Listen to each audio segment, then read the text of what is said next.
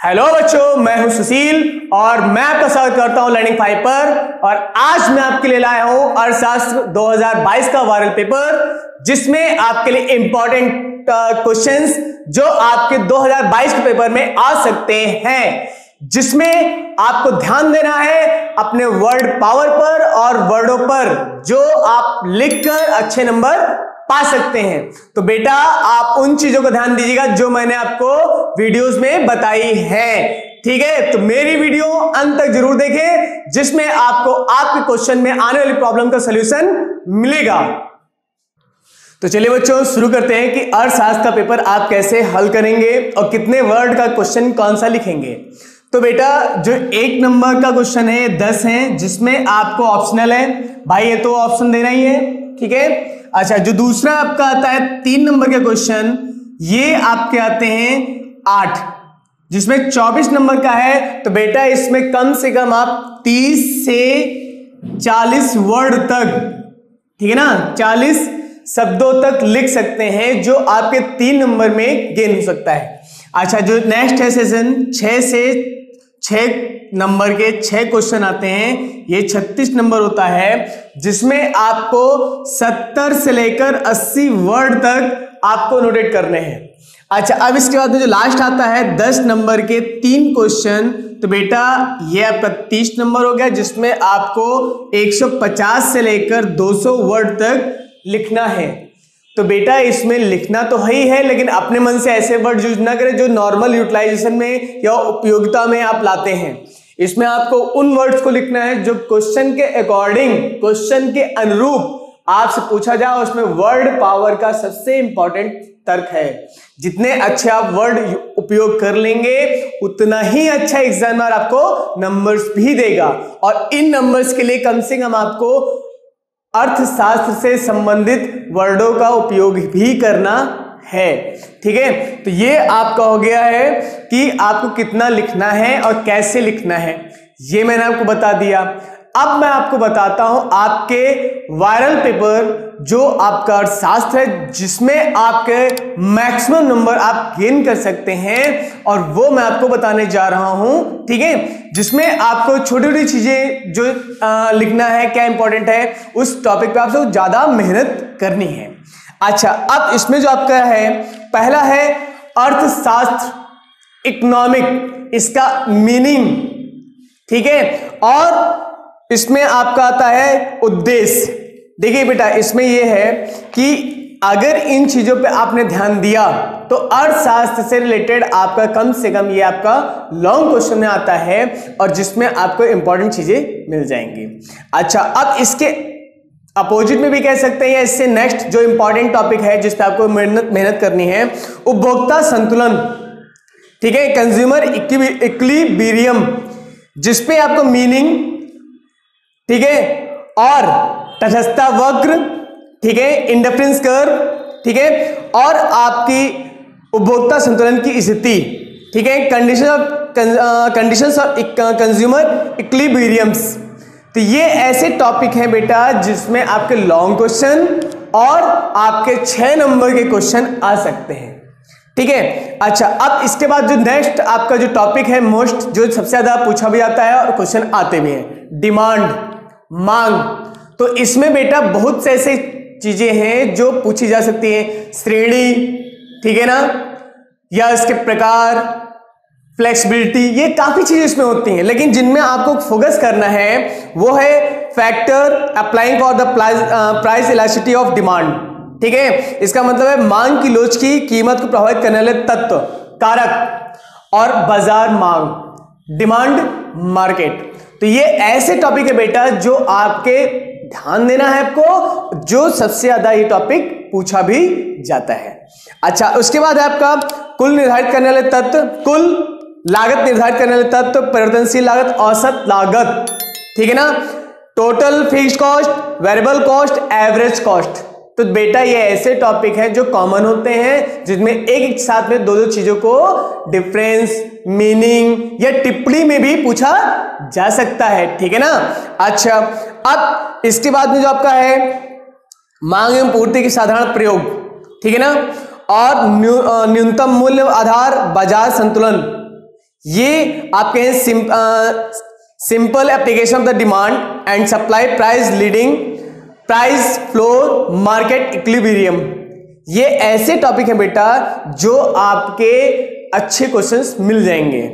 अच्छा अब इसमें क्वेश्चन भी हो सकते हैं, इनके उद्देश्य भी हो सकते हैं, या इनके मेरिट डिमेरिट्स ठीक है? अच्छा अब इसके बाद में जो आपके टॉपिक हैं, जो आपके शॉर्ट क्वेश्चंस के लिए हो सकते हैं, तीन नंबर छह नंबर के लिए तो वो मैं आपको बता रहा हूँ। स्थानापन्न वस्तुएँ, ठीक है? प्लेसमेंट प्लेस होल्डर गुड्स पूरक वस्तुएँ कंप्लीमेंट्री गुड्स मैंने आपको लास्ट वीडियो में समझाया था इसके बारे में, सीमांत प्रतिस्थापन दर मार्जिनल रिप्लेसमेंट रेट अनैच्छिक रोज़गार फुल एम्प्लॉयमेंट और प्रत्यक्ष एवं अप्रत्यक्ष कर डायरेक्ट एंड इनडायरेक्ट टैक्सेस न्यून न्यून मांग एवं अधिमांग लेस एंड मोर डिमांड ठीक है? चालू खाता, पूंजी खाता करेंट अकाउंट कैपिटल अकाउंट ठीक है? ये लास्ट ईयर आपके 18 सत्रह में क्वेश्चन पूछे जा चुके हैं और उन्नीस में भी मेंशन हो चुके हैं, ठीक है? तो राष्ट्रीय आय नेशनल इनकम जिसमें आपको जीएनपी एनएनपी जीडीपी आईपीआई ठीक है? और इन टॉपिक पे ध्यान देना है जो आपके थ्योरी में भी है, ठीक है? अच्छा अब इसके बाद में क्या है कॉमर्स बैंक्स के बारे में। तो बेटा बैंक के बारे में आपको बताऊँ फ़ंक्शंस मोस्ट इंपॉर्टेंट होते हैं कि उनका उदय कब हुआ, उनके क्या फ़ंक्शंस हैं, ठीक है? या इनकी क्या इंपॉर्टेंस है, ये टॉपिक में आपके हैं। अच्छा इसके बाद बजट बजट का अर्थ बजट का उद्देश्य, ठीक है? बजट की मीनिंग एंड ऑब्जेक्ट और आपका राजस्व, पूंजीगत मतलब रिवेन्यू एंड कैपिटल ये आपके ऐसे राजस्व हैं जिनमें आपको मैक्सिमम अच्छे टॉपिक मिल सकते हैं। अच्छा अब इसमें जैसे घाटे आते हैं राजस्व के घाटे या राजस्व के आय और राजस्व के व्यय के सोर्स कौन है या उनमें क्या चीज़ें आ सकती हैं तो बेटा इन टॉपिक पे ध्यान दीजिएगा, ये टॉपिक आने वाले हैं। अच्छा अब इसके बाद में एक आपका दिया गया टॉपिक भुगतान संतुलन, ठीक है ना? Balance of payment account. तो ये एक ऐसा लास्ट टॉपिक है बेटा, जिसमें आपके भुगतान से रिलेटेड देश के अंदर और देश के बाहर, विदेशी तो दोनों ही तरीके से पेमेंट के बारे में पूछ सकता है, जिसमें आपको मीनिंग एलिमेंट ठीक है, लाभ या हानि, ये ऐसे तरीके से पूछ सकता है कि का आपको कंफ्यूजन हो तो बेटा कंफ्यूज मत होना क्वेश्चन को ध्यान से पढ़ना और आराम से आंसर लिखना, लेकिन वर्ड टाइम सोच समझ के। ठीक है ना? तो अब ये आपके लिए हो चुके हैं। अब इसमें मैं आपको बता सकता हूँ कि इनमें आप अपना देखिए क्वेश्चन आपके सामने हैं, लिखना कितना है टाइम आप मैनेज कर सकते हो। भाई, इसके लिए आप कम से कम लॉन्ग क्वेश्चन के लिए 20 मिनट पर क्वेश्चन में दे दीजिए आप। और इन क्वेश्चंस के लिए भी, देखिए, जब तक आप टाइम नहीं देंगे, तब तक ये क्वेश्चंस हो नहीं पाएँगे। भाई, ये क्वेश्चन ऐसे हैं जो एक मिनट में भी सॉल्व हो सकते हैं और दस मिनट भी ले सकते हैं आपका, जो आपके, वो विकल्पी क्वेश्चन है। तो बेटा, ध्यान से, ये एक घंटे में आपके तीन क्वेश्चन हो जाएँगे और इन क्वेश्चंस पे कम से कम आपको डेढ़ घंटे देने हैं।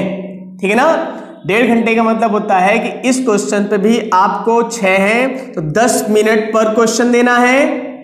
और ये जो क्वेश्चन है, कम से कम इसके लिए आप 40 मिनट दे सकते हैं। तो आठ क्वेश्चन है तो पाँच मिनट पर क्वेश्चन आप प्रोवाइड कर सकते हैं।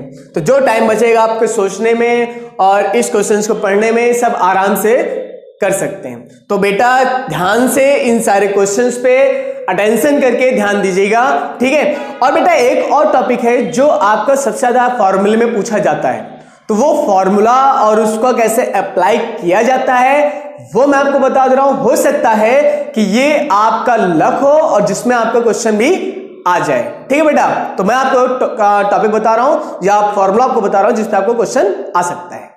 तो बेटा, ये आपका उपभोक्ता फलन का क्वेश्चन है, ठीक है? जिसमें आपका नेशनल इनकम को प्रोवाइड करना है या निकालना है फाइंड करना है। क्वेश्चन है in a country consumption function ठीक है? The max minimum level of the consumption 200 crore and at the contents MPC 0.8 investment are 300 crore ठीक है? ये रिक्वायरमेंट मतलब चेंज किया जा रहा है कि जो हमारी इन्वेस्टमेंट है, उसको 300 करोड़ और बढ़ा दिया जाए।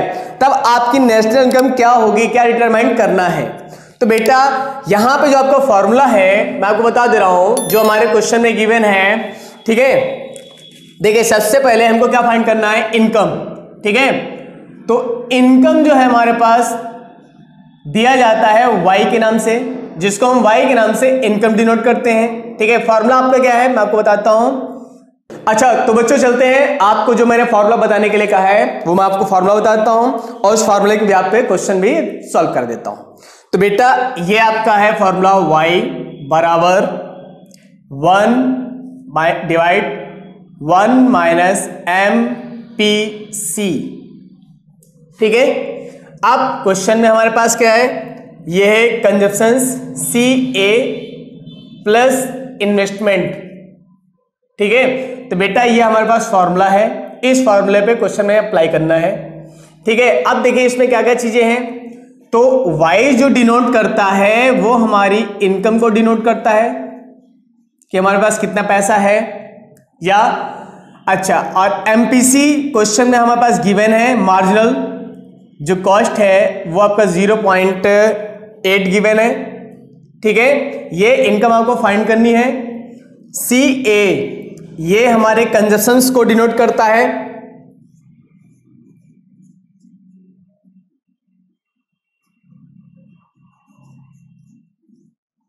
जिसकी कॉस्ट 200 करोड़ में है, ठीक है? अच्छा अब जो आपका इन्वेस्टमेंट है मतलब इन्होंने कहा है कि जो हमारा कंजप्शंस है, उस कंजप्शंस की वैल्यू को 300 और बढ़ा दिया जाए। 300 और बढ़ाने का मतलब यह है कि आपका 200 करोड़ का था प्लस 300 और बढ़ जाएगा। तो बेटा, अगर 300 बढ़ जाता है तो उस समय आपका जो कंजप्शन है, उसकी वैल्यू 500 करोड़ हो जाएगी। तो बेटा, अब मैं आपको बताता हूँ, इसको कैसे अप्लाई किया जाता है। तो ये आपका जो क्वेश्चन है, ठीक है? अच्छा वाई हमें फाइंड करना है। तो क्वेश्चन के हिसाब से हमारे पास y की वैल्यू निकालनी है, जिसमें हमारे पास है one divided by one minus zero point eight zero यह आएगा 200 करोड़। पहले से कंजप्शन था प्लस 300 करोड़ों का और इन्वेस्टमेंट हो जाएगा। ठीक तो अब इसको हम सॉल्व करते हैं तो वन दिया गया है। अब इसको सॉल्व करेंगे तो यह आता है वन से पॉइंट एट हटेगा तो ज़ीरो पॉइंट टू आएगा, जिसमें हमारे पास टोटल वैल्यू होती है 200 और 300 मिला के कितना हो जाएगा? 500 करोड़। अब इसको हम और भी सॉल्व करते हैं तो एक को डिवाइड करते हैं point two point two zero से। तो इसको जब इससे डिवाइड करते हैं तो ये वैल्यू आती है फाइव और ये हमारा ब्रैकेट में ऑलरेडी गिवन था फाइव हंड्रेड तो अब इसको हम सॉल्व करते हैं तो ट्वेंटी फाइव करोड़ ये हमारे पास जो इनकम है, वो हमारी कितनी हो जाएगी? 2500 करोड़ होगी। तब हम उसमें 500 का इन्वेस्टमेंट कर सकते हैं कंजप्शन कर सकते हैं। तो बेटा और भी अगर कोई चीज़ आएगी इसमें अगर सेविंग्स है या गवर्नमेंट इन्वेस्टमेंट है, कुछ भी है तो बेटा उन चीज़ों को इसमें प्लस करते जाया जाएगा और ये आपका क्वेश्चन हो जाएगा। जो आपका छह नंबर के क्वेश्चन में या आपके दस नंबर के क्वेश्चन में ये पूछा जा सकता है। बेटा और इस फॉर्मूले को ध्यान दीजिएगा। इस फॉर्मूले में ये चीज़ तो साथ में है और इसको चेंज भी किया जा सकता है। तो बच्चों, मुझे उम्मीद है कि जो मैंने आपको पेपर बताया है, वो आपकी समझ में आ गया है और आप उन चीज़ों पे ज़रूर ध्यान दें जो मैंने आपके लिए इंपॉर्टेंट टॉपिक हर टॉपिक से उठाए हैं। अच्छा और अगर किसी प्रकार की आपकी प्रॉब्लम होती है तो कमेंट सेक्शन में आके इसे आप पूछ सकते हैं और आपकी समस्या तुरंत निवारण की जाएगी।